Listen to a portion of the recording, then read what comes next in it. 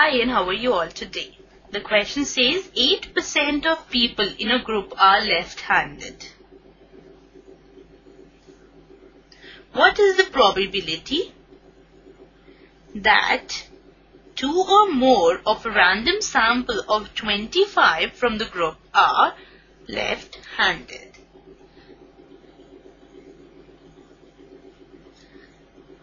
So here in this question, we are given the value of P as 8% that is 8 by 100 and we are given the number of people in the group as 25. So let us find out the value of lambda first.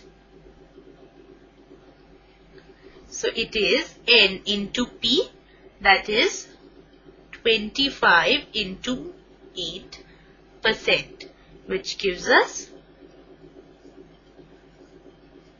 the answer as 2.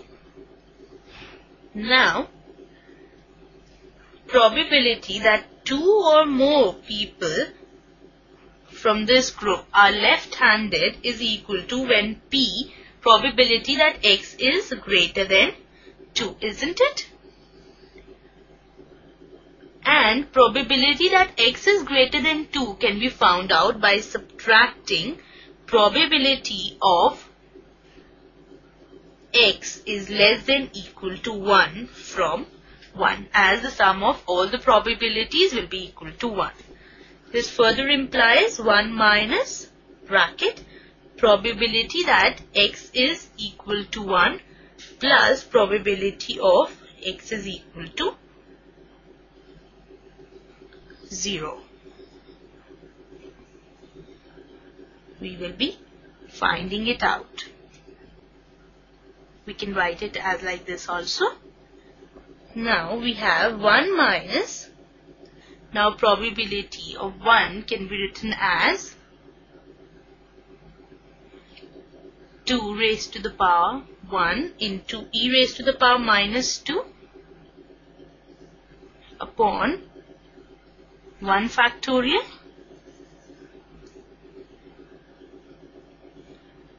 plus 2 raised to the power 2 into e raised to the power minus 2 upon 0 factorial. Now in the question we are given to use the value of minus e raised to the power minus 2 as 0.135. So using it, here we have 1 minus 2 into 0.135 upon 1 minus 2 into 0.135 upon again 1.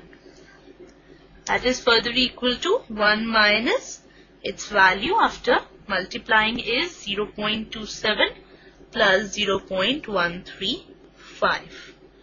So we have after simplifying 1 minus 0.135 405 which is further equal to 0.595.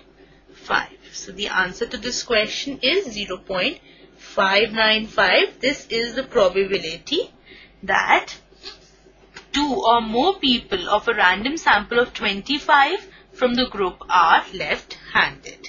Right, this ends the session. Hope you understood it well. Enjoy it too. Bye for now.